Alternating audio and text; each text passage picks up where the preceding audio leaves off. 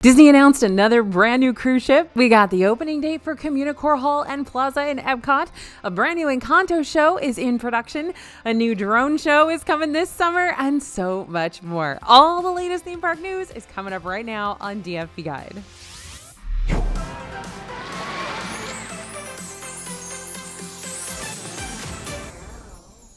Hey everybody, it's AJ for Disney Food Blog. So June 10th is shaping up to be a big day for the Disney parks with new shows, new meet and greets, and even a fun celebration for a classic Disney film. But let's start with some major cruise line news.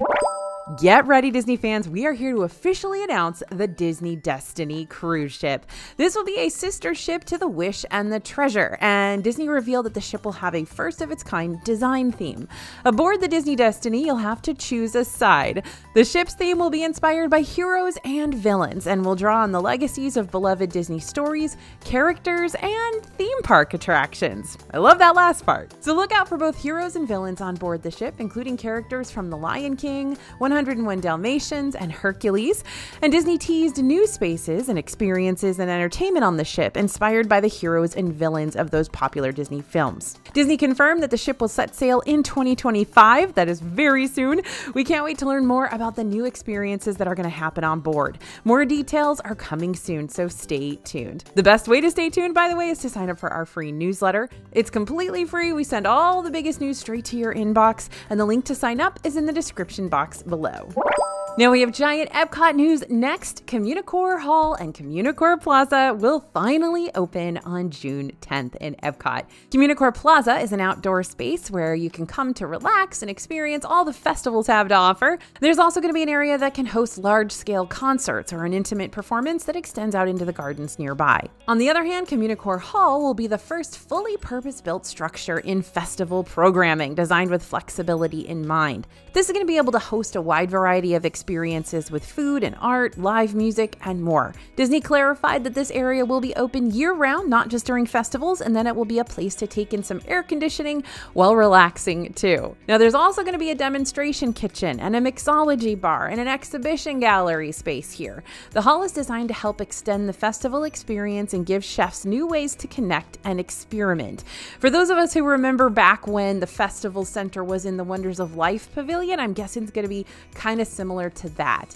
You can be sure that all of our festival guides will have updated information about Communicore Hall and Plaza. We detail every schedule, event, and tasty morsel so you can get the absolute most out of your precious festival time.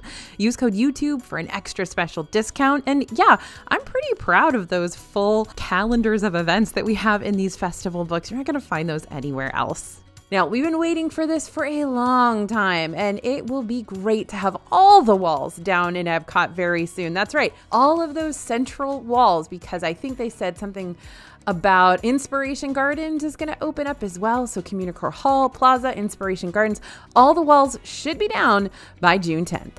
And also on June 10th, to kick off that Epcot celebration, a brand new Encanto stage show is coming to World Celebration. This show is going to be called Celebracion Encanto and is a sing along that includes some popular songs from the movie. The show is going to be running several times a day and it's going to take place on the Communicore Plaza stage. You'll even be able to see Bruno and Mirabel throughout the show. But this show is limited time. It's currently got an end date of September 6th. So if this is something you want to check out, make sure you start planning your trip. And I am so jazzed to tell you about the drone show coming to Disney World. You know how we always say that like Disneyland Paris, Tokyo Disney, they get those cool drone shows and it's not fair that Disney doesn't get them? Well, guess what, y'all? It is time. If you're planning to visit Disney World this summer, don't forget to plan an evening to hang out at Disney Springs. Not only is there a ton of shopping, some amazing eats, and some beautiful views, but a new experience has been announced that you can expect. A drone show called Disney Dreams That Soar is inspired by Disney stories showcasing flight. These drones are programmed to create designs in the sky and will be accompanied by a beautiful musical score that includes some memorable movie quotes. We think it's beautiful. That's what Disney's saying. Now, who remembers the last drone show that was in Disney Springs? This is a long, long time ago, definitely before I started DFB. That's the only place we've ever seen a drone show in Disney World. Looks like it's coming back to the same location. Now, you'll be able to check out this show beginning on May 24th, but it is only here for a limited time. So be sure to check it out by September 2nd, or else you're going to be missing out. This show is planned to be a late night perk for those still hanging out at Disney Springs, so be sure to plan your next park day accordingly. Also, beginning on June 10th, we will be able to meet a new Pixar character in Hollywood Studios, Joy from Inside Out. She's going to be joining a bunch of her Pixar pals just in time for the release of Inside Out 2. Previously, we could meet Joy in Imageworks at Epcot, but according to the Disney website, Joy is being temporarily relocated, so she will eventually make her way back to Epcot. Only time will tell, but we'll be on the lookout. And that's not the only character news we've got this week. Over at Disney's Animal Kingdom, they are going to celebrate the 30th anniversary of The Lion King. This celebration will commence on guess when? June 10th. Such a massive date.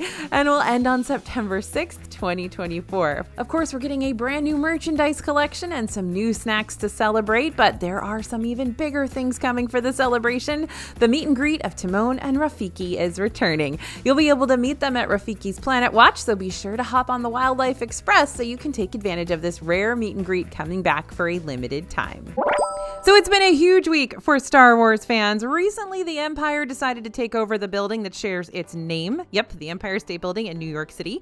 You can visit all the Star Wars displays at the Empire State Building through April 29th. Disney also revealed a ton of new Star Wars merchandise coming soon, both at the Disney parks and the Disney store. There was even a Target exclusive item in the merchandise reveal drop. But what got us most excited is that we'll soon be able to try True Moo Blue Milk in grocery stores. It says it's blue colored vanilla low fat milk with other flavors, which makes us think it might be a little different than the blue milk from the parks. The blue milk in the parks is dairy free, but this one is still going to be at the top of our grocery list. And for a limited time, starting on May the 4th, a collectible salvage stormtrooper helmet popcorn bucket is going to be available at Star Wars Galaxy's Edge in Disneyland. Even better, you can get it with popcorn, sure, but you can also get it with french fries and Galma garlic puffs. Now, this will also come to Disney World at some point in May, too. Disney World just recently revealed new outfits for cast members who work on Main Street USA. Now, this part of Magic Kingdom has a very turn of the century vibe, so the new costumes do still reflect that, but they're also made with lightweight, breathable fabrics and are made from recyclable materials. We asked a cast member at the Emporium on Main Street USA for a few more details on these costumes and found out that the costumes are mostly made of interchangeable pieces, so each cast member can put together their own look. So the next time you visit Main Street USA, be sure to let the cast members know how sharp they look in their new gear. Typhoon Lagoon, one of Disney's water parks, reopened for the summer season on March 17th. We were there on opening day to check it all out, and there's specifically some snacks I want to tell you about. We headed on over to Typhoon Tilly's to get the Dole Whip Bathtub Sundae. It's definitely something. It's made with Dole Whip pineapple, Dole Whip strawberry, and green matcha tea soft serve. We also found some new food to try over at Leaning Palms, starting with the pork elote nachos made with pork, tricolor nacho chips, jalapeno cheese sauce, elote corn dip, jalapenos, and guacamole with chopped cilantro. I will say that these nachos have made our list for the best things we've eaten so far in 2024, and stay tuned for that video coming to the channel soon. Now, since Typhoon Lagoon has reopened, that means that Disney's other water park, Blizzard Beach, has closed. Only one water park is operational at a time. But did you know for stays starting January 1st, 2025 through December 31st, 2025, Disney World Resort Hotel guests, including Disney Vacation Club properties, will get a free park ticket to the water parks to use on their arrival day. You'll be able to use this perk either at Blizzard Beach Water Park or Typhoon Lagoon Water Park and only on your check in day. So, if you're planning a Disney World trip in 2025, you might want to take advantage of that free ticket and maybe go get those nachos. So, an entire land will be closing in Disneyland. Critter Country at Disneyland is home to a couple of shops and restaurants, in addition to the ride The Many Adventures of Winnie the Pooh. The land is also home to Splash Mountain and will be home to the new Tiana's Bayou Adventure, but it will look very different when the ride finally opens. Disney's announced that beginning May 1st, 2024, Critter Country will be closed temporarily to make way for two new shops Ray's Berets and Louis's Critter Club. Ray's Berets is going to replace the Briar Patch and will offer headwear, apparel, accessories, toys, and more. And Louis's Critter Club will occupy the left hand side of Pooh Corner and will offer even more apparel and accessories, home decor, and more Princess Tiana themed stuff. Hungry Bear Restaurant will remain open while the land is refurbished, but the many adventures of Winnie the Pooh will be closed. Currently, no changes are planned for the attraction, and it's expected to reopen with the land.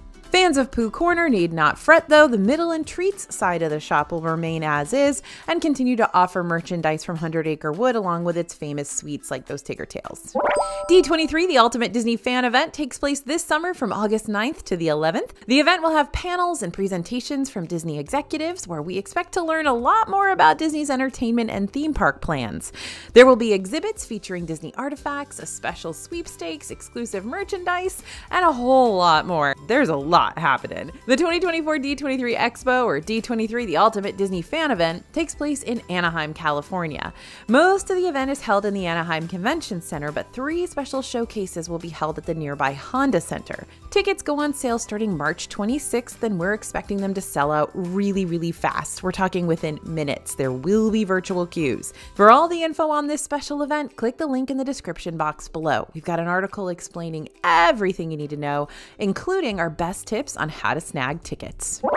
It is definitely spring season right now in Epcot with the Flower and Garden Festival, but if you're heading to the park soon to celebrate it, we need to warn you something has changed. While you're exploring all the food and beautiful topiaries the festival has to offer, you can also pay $9.99 to play a super fun scavenger hunt, Spike's Pollination Exploration. We played the game on the first day of the festival, and when we returned our game board, our prize was getting to choose a miniature game of cornhole.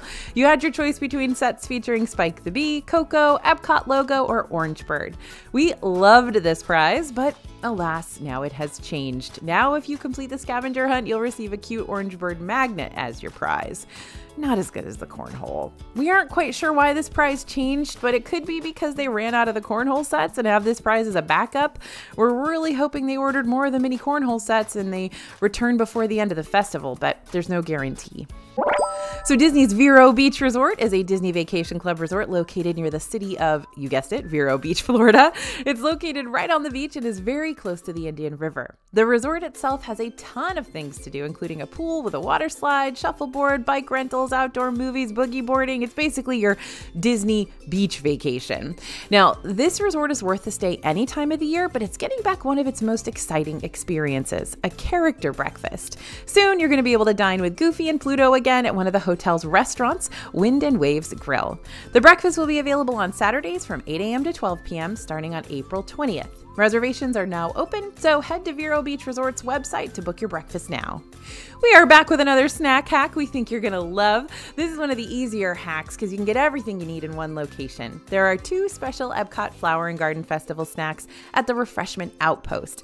There's the seasonal fruit parfait made with sweet chili sauce and Dole Whip mango for 7 bucks, and you can also get an ice cream float made with tangerine soft serve and Barq's red cream soda for $6.75. Now, here's what we did. We took that mango mango Dole Whip and asked for it with the Barq's red cream soda to create our own mango Dole Whip float. Even better, we were just charged the price of the float, which is $6.75, so this hack is under 7 bucks. Score!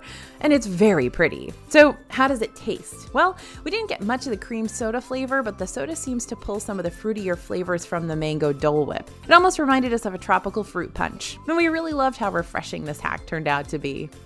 Now, it's no secret the Karamell-Küche holds a special place in our hearts here at DFB for some of the best treats in Epcot. So imagine our surprise when we saw an old favorite had returned to the menu. The Werther's Original Caramel Chocolate Cookie Sandwich is made out of two soft chocolate cookies sandwiched with Werther's Original Caramel and salted caramel buttercream frosting for $7.29. It's like a big old salted caramel chocolate whoopie pie. Now, it's almost like a big kid's Oreo with creamy caramel. We would have welcomed even more of the caramel drizzle in the center of the salted caramel buttercream frosting, but the salted caramel buttercream frosting was enough to stand all on its own and eat by itself, and it even held up well against the sunshine and the heat of the day for quite a while. The chocolate cake pieces that made up the sandwich are dense and decadent and chocolatey. They tasted just like two pieces of chocolate flavored birthday cake with the same consistency. Overall, we're happy to report this is still a divine treat that will take you on a salted caramel and chocolatey flavor overload when you take each bite. So here's what you need to know if you're going to Disney World this week. The spring season is here in Orlando, and unfortunately, that means warmer weather, which can be a good thing or a bad thing depending on who you ask. Looking ahead at the weather forecast, it's supposed to get into the high 80s, so be prepared for that Orlando sun. You can also expect a little rain next week as well. And again, it's still spring break in Disney World, so if you're thinking about buying Genie Plus to help you skip some of those long lines, expect prices to continue to reach their high points of over $30 per person.